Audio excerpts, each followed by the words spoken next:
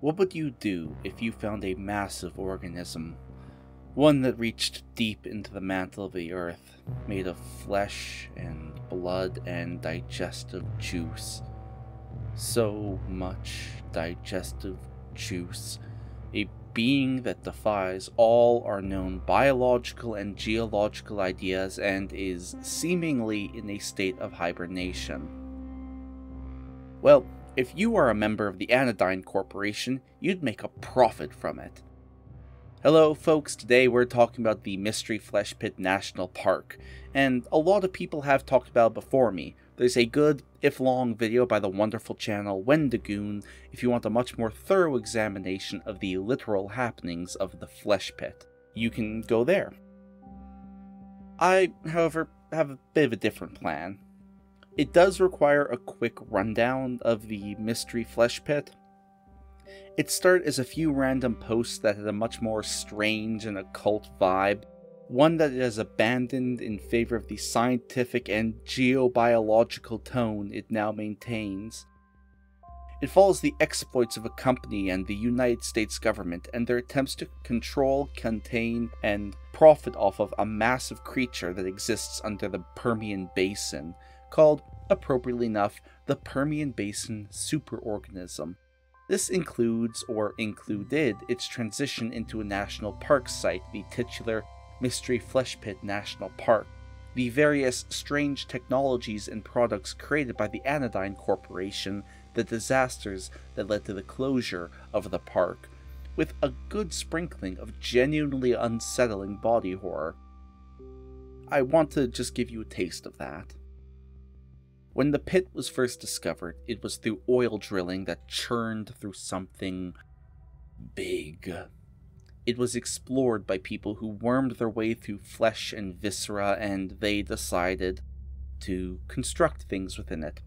A visitor's center, mining rigs, things known as dilation anchors to keep the mouth open, and run electrical cables through it so that they could support life underground human life at least, creatures were found inside copiopods, macrobacteria, things that lived in the folds of flesh and fed on the juices of a living cave. It wasn't producing the organisms. No, some of them evolved from a life that we would recognize.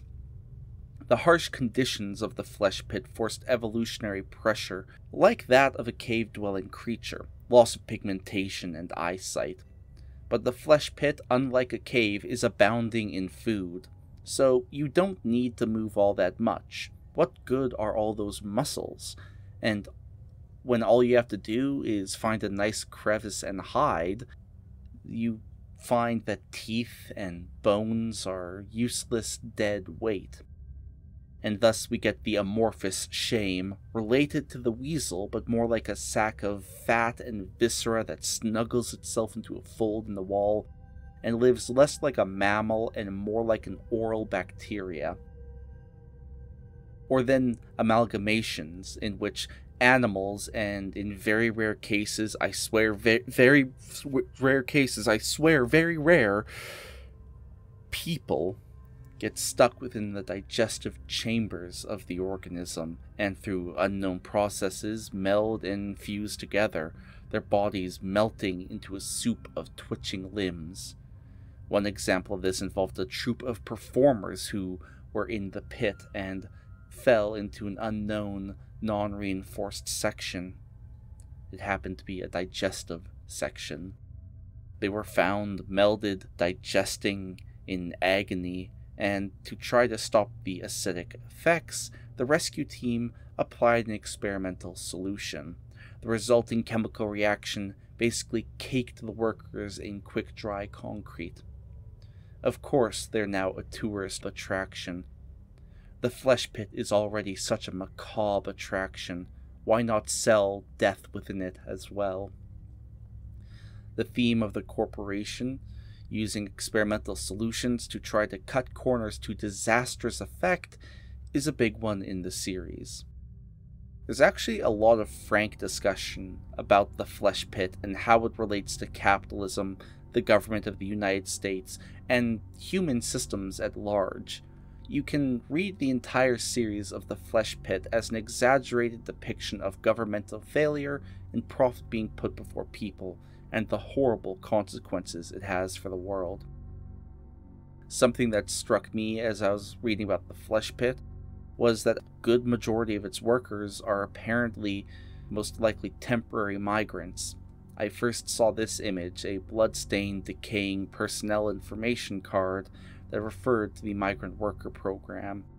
And then there is this sign that details the various workers scientists, rangers, surveyors, park staff who will bring you on interactive guided tours. But there's one that stood out to me the laborer.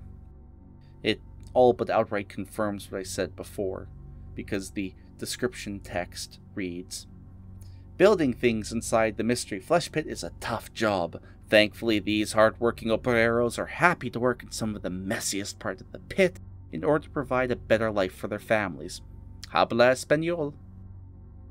This, of course, is part of a sad reality, one of the human systems that has been incorporated into the world of the flesh pit. In our world, the one hopefully without a flesh pit, Migrant workers are often working the dirtiest and most thankless jobs, from back-breaking farm work to dangerous construction work. People without much of a choice in employment due to not having the right scraps of paper often do the kind of work that can get you injured.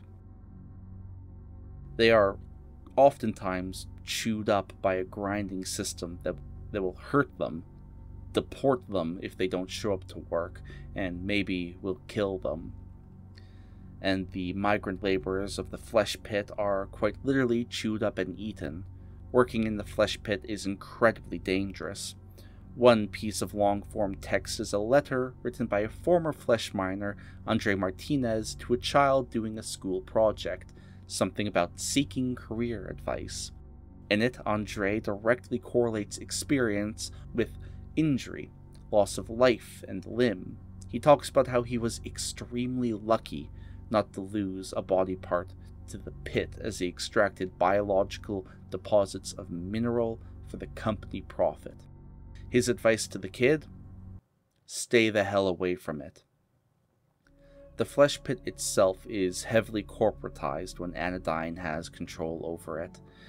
Miners and technicians are constantly extracting from it, burrowing through muscle and flesh and fat and bone to extract ballast a powerful aphrodisiac that somehow features heavily in commercial products.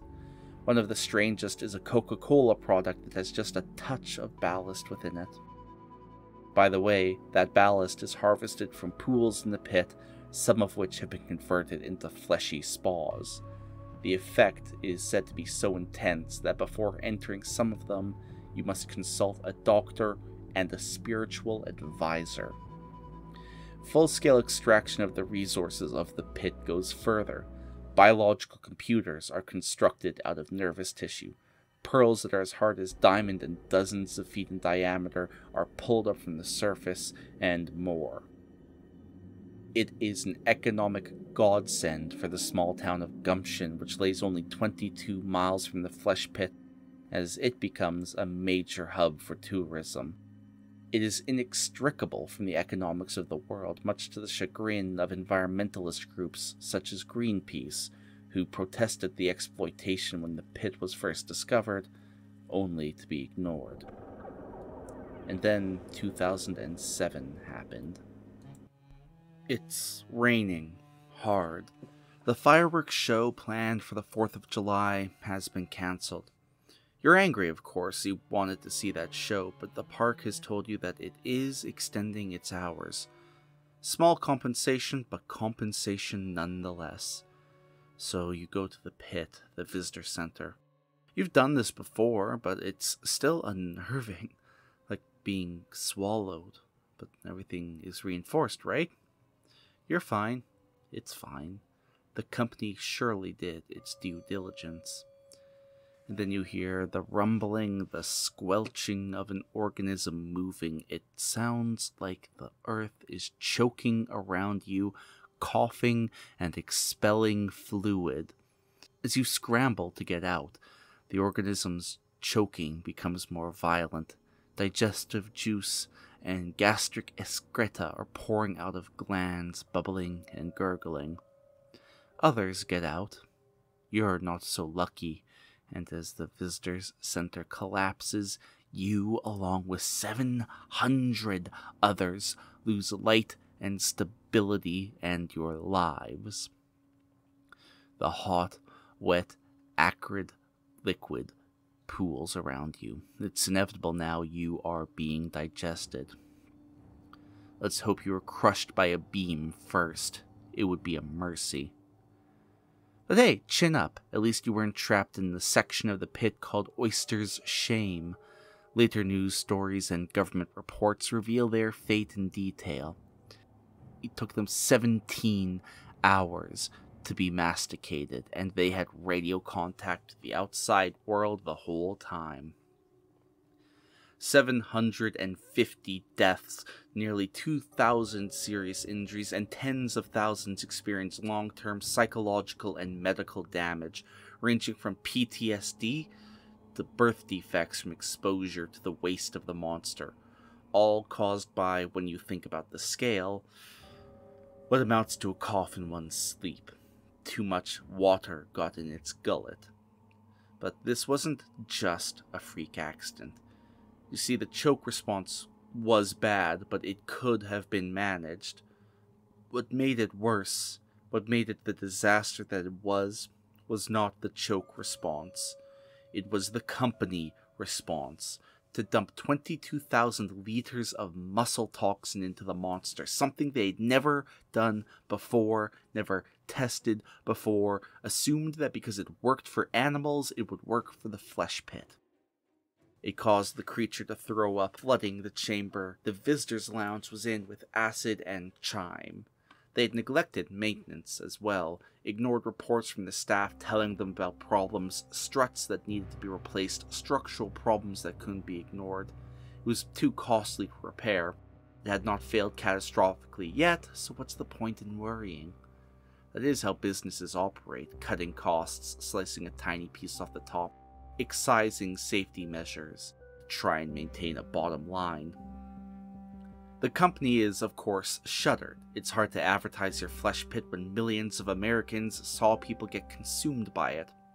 And to make matters worse, the secondary, much more occult and esoteric contingency measure, the thing that put it back to sleep, is destroyed.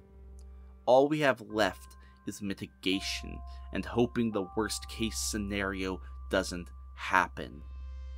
Unfortunately,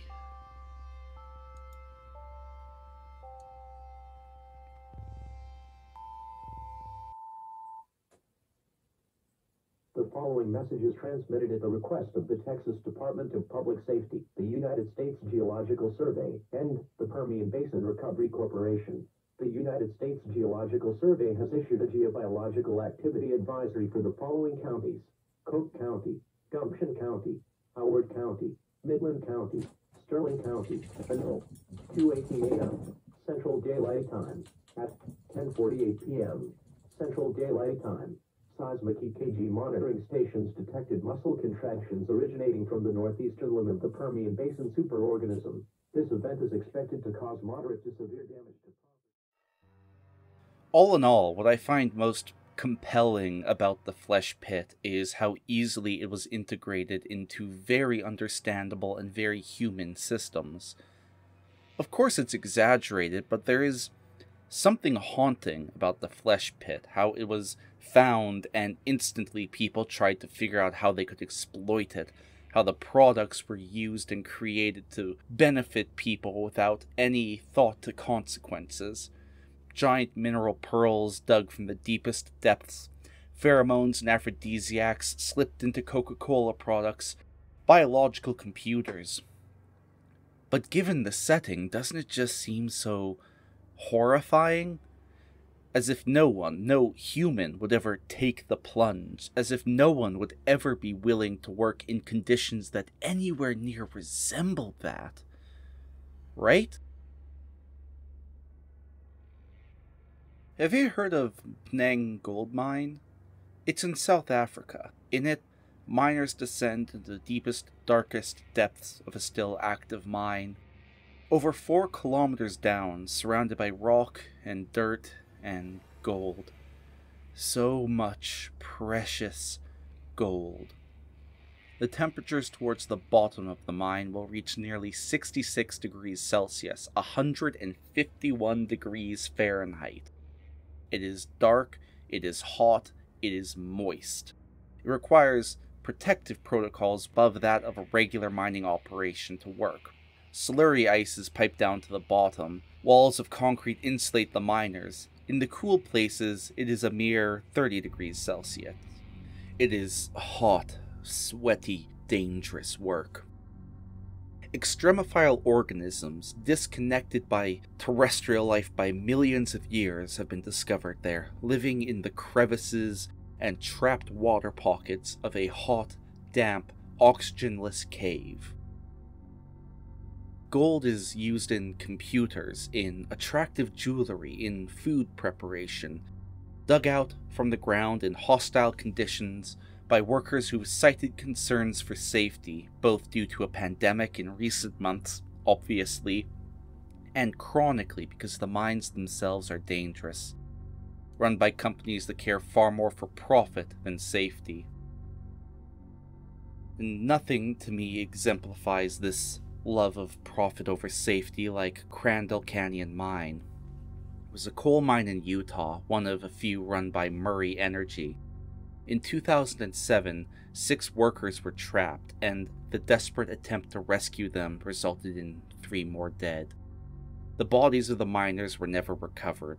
The mine had been cited many times before for lack of safety. The owner, Robert Murray, said these citations were trivial this, coupled with the foreknowledge of the mine owners had about the accidents, rock bursts, signs that the mine was dangerous, caused people to die. The government, after instant report, found that overestimations of the strength of the mine, overly aggressive mining practices, and company neglect all contributed to a horrific accident, leading to the government issuing its harshest fine to a mining company yet. And you know what? I'm going to stop beating around the bush. The flesh pit is in the Permian Basin for a reason.